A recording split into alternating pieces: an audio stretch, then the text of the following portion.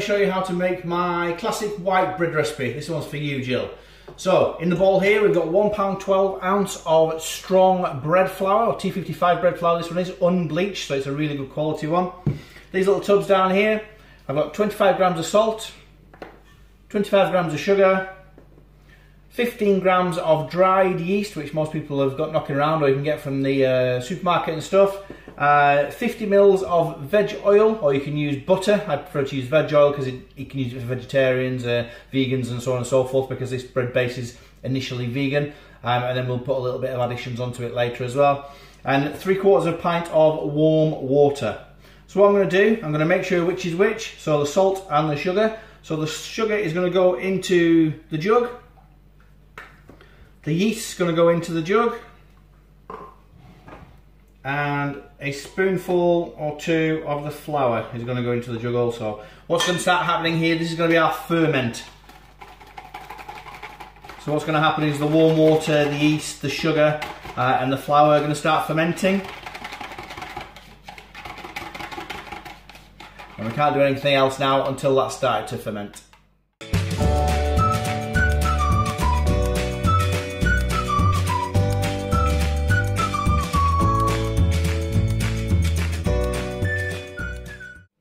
So now, as you can see, our ferment's done. That was very quickly, wasn't it? These fast-acting yeast is uh, very fast-acting. So what I need to do now is the salt goes into the flour. The oil goes into the flour. So we have our oil in there now. Can't see it, the light's a bit bad. There you go. We've got our oil in there now. I'm just going to mix that in.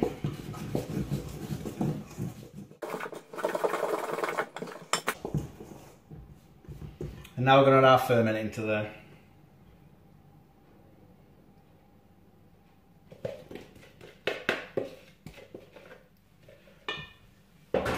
So I'll start mixing it by hand, clean myself up.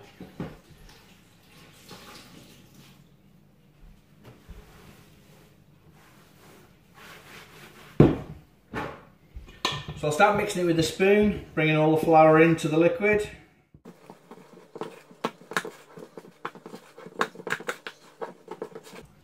Once I've got it most of the way there, I'm going to get my hands dirty and get my hands in there.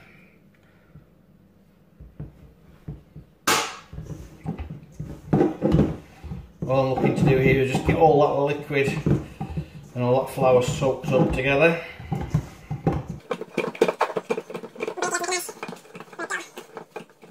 It's a little bit dry, I need a little bit more water in there.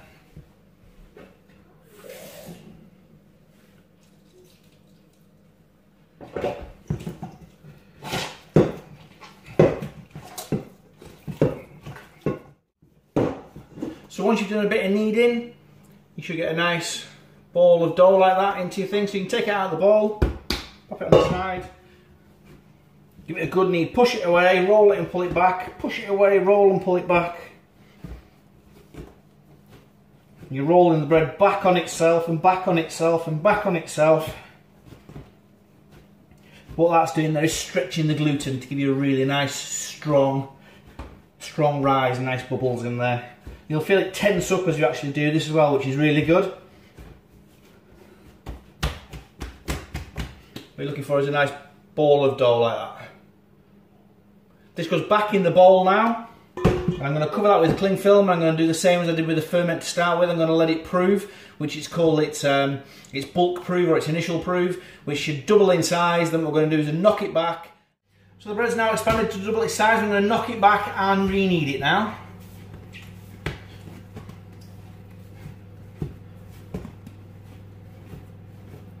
Same again as we did before, push it away and roll it back. And you feel it tighten up on you.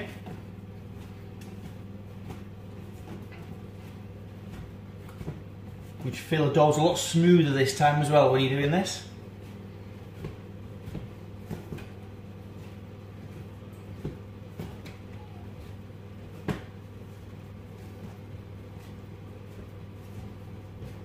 You get a really nice smooth textured dough. So the dough's ready to be portioned into whatever you want it to be now. So I'm going to make this into some bread rolls and into a small loaf. So I'm going to do that now. So I'm just going to get my trays that I'm going to put it onto. So this is a muffin tin. I'm going to make some little bread rolls into here so they rise like little muffins. And it allows me to put some oil on the bread as well and it for it to stay into it. And then just a lined tray which I'm going to put the loaf on. So I'm going to cut the bread in half. And we'll do our loaf first. So give it another good knead.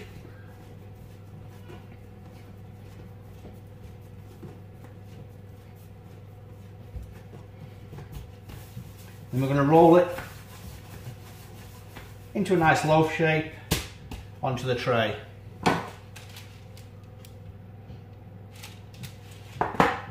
So for the bread rolls, I'm just going to roll it out into a long sausage.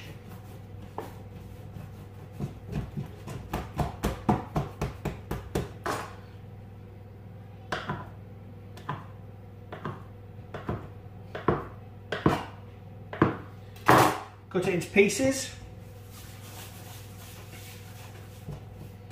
Then roll it on the bench into a nice bread roll shape and pop it into my tray.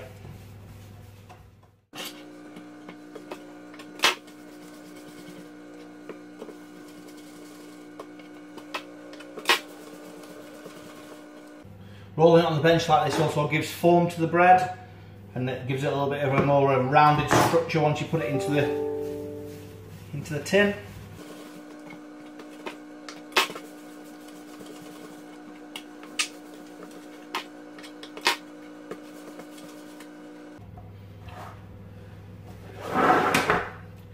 There we go, so they're now ready for their second prove, which needs to happen before they go in the oven. Okay, now our bread's proved to almost double its size. Let's take the cling film off. And then we can start to decorate these now. So what I'm going to do is I'm going to put some flour on top of this one to like a, I make like a, a cottage cob type thing and then put a couple of lines across the top of it. So if we do that.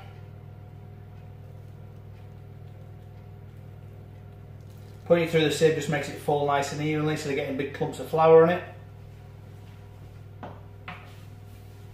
With a nice sharp knife, a line across that way, and a line across that way.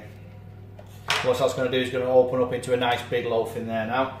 So these ones here, I've got some vegetable oil. Just going to rub the bread with some vegetable oil. This is just going to make our little topping stick to it. I'm just going to put some um, dry thyme and good quality rock salt on top of these.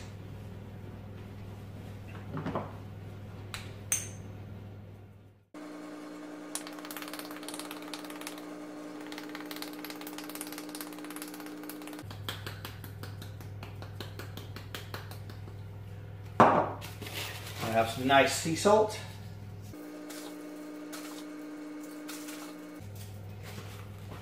I'm just going to put a nice little split in the top of these as well. If you haven't got a really sharp little knife like this, you can always use a Stanley knife blade. Okay, and they're ready for the oven. You can see this one starting to split and rise already. Um, oven set at 200 degrees. These will go in for about 15 minutes. These will go in for uh, probably about 20 to 25 minutes. So let's pop these in the oven now.